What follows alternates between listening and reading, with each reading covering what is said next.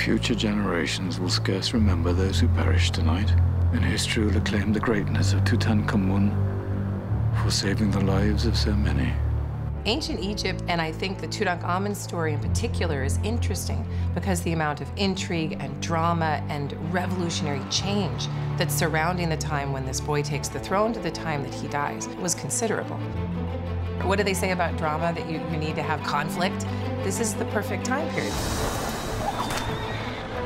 We've always said from the beginning, it doesn't have to be completely accurate to touch life. That's impossible. There's too much we don't know, and we have, in order to make a movie, you have to dramatize certain things. But we want to make sure it's historically accurate, that within the world we're creating, that could really happen.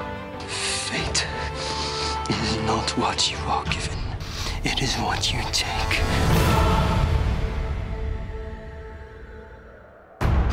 Tutankhamun is so intensely popular. I think most of it has to do with the tomb and the discovery of that tomb in 1922 by Howard Carter. When they found the tomb, they, they documented everything. And so you can see the amount of canes that he had or the kind of brooches he had. And this is all things that he would specifically be buried with because he wanted them in his afterlife. That small, non-orthodox tomb was just packed with objects made of solid gold, with objects made of electrum, with imported precious woods that were painted and plastered. He dies so unexpectedly that his tomb isn't finished. And so they bury him in this tomb meant for a private person in the Valley of the Kings. It's an unusual tomb. It's very aberrant. It doesn't fit with the typical royal pattern. His life is cut short before he's 20, he's dead, which is perfect for drama. Everything is amplified. It does look like he died with trauma. Has a Titanic element that we know the ship is going down, and we want to see how it's going to happen. Egypt was really at the height of its power. It was really one of the few, places that had consolidated power. And it was a time of real upheaval because his father, Akhenaten, had disbanded many of the gods. Akhenaten instituted some very, very radical religious changes. And those religious changes started by reproducing himself as a god of light. And as he does so, he becomes exclusionary and he starts to hack out the names of other gods. And so there is this notion, and it's a possibility, that Akhenaten was the first monotheist in the entire world. It certainly seems that he's the first religious fanatic. His father died, and Tut took over at eight years old. His handlers, starting with Vizier Ay, implemented the, the old religion back. Give us back the old gods. The decision rests with the Pharaoh. Then it is done. This could be one of the few time periods for which we have evidence that a king was actively controlled, and controlled by men.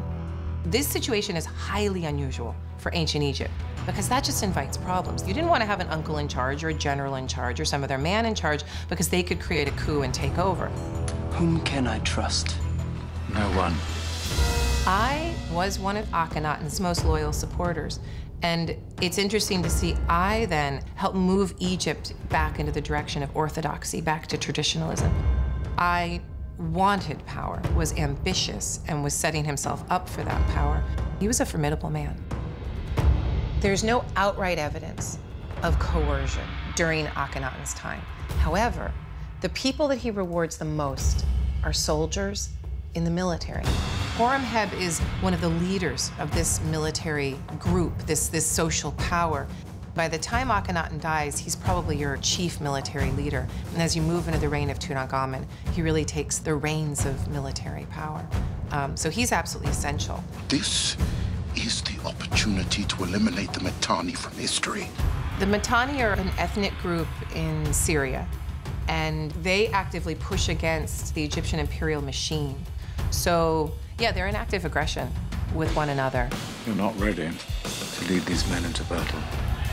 I will fight for my people, with my men and with you. Kings were proud of their, their military exploits. They did train, and they trained in archery, they trained riding their chariots, and did actually face the, the enemy in combat. Can there be victory? It will take the will of all the gods combined. So there was this woman, Ankhesenamun, and this is, we think, a half-sister of Tutankhamun. And it may seem very strange that brother-sister would then marry each other, but in the 18th dynasty, it was a very expedient way of keeping the wealth in the family. They're both marrying each other at the very moment when they might be able to procreate children. He's only nine years old, and, and she may be a little bit older, maybe she's 11 or 12 or something like that.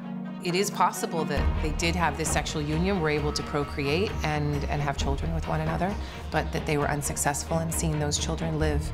In his tomb are two fetuses that were stillborn who died in utero. We have no rightful heir. This gives others reason to claim their right to the throne. I have no doubt they maneuver even now. Women who were beautiful could be brought in, so non-royal women were brought into the harem all the time. He may love you, but I am his queen. It is possible that a woman in the right place at the right time with the right healthy son could see herself launched into this extraordinary position as mother of the king. I'm a commoner. No, you are far from common. All the people that tried to maneuver him into oblivion are themselves forgotten.